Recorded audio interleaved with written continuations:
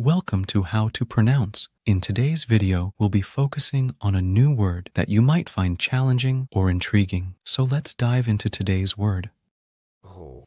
which means Surname of English origin, often referring to a person who rows. let's say it all together. Rowe. Rowe.